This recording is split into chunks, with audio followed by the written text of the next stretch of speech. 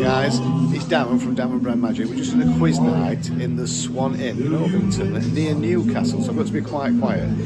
And my wife's just been sat here eating a meal and a lady's come to me and she just said to me, excuse me, are you a magician? So I said, yeah. She says, you were doing a magic on a holiday site in France, Pontorson. We just worked out, it's back in 2015 we reckon. So this is Olivia and it was her dad's birthday while we were on holiday. I did magic outside their caravan while I was on holiday. And then her dad's friend was called Colin, was it?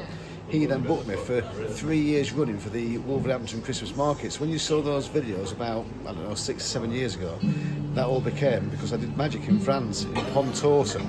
It's just absolute madness. So Olivia became friends with Ellie and Gina and Kate all on Snapchat. What, yeah. on, on Snapchat? On Snapchat yeah. Instagram and Snapchat. So she just messaged them first to say, I'm sure your mum and dad's in this pub in Newcastle. And she said, oh yeah, there will be, because we're up here. Now, bear in mind, this is nearly three hours away from home. And she's not seen this since 2015, she recognised me straight away. That's amazing. So have you got something on Facebook or anything like that to, to recognise On like Ellie's posts, yeah, but not... Oh, right, so she has seen photographs of me on Ellie's post, but yeah, absolutely bizarre. So I'm sat here having a, having a, a meal nearly three hours away from home. We've just been in uh, Sunderland today. And then she taps me on the shoulder and says, I'm sure you're a magician.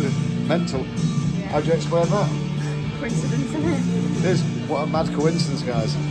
All the very best to you. Lots of magic. Bye bye.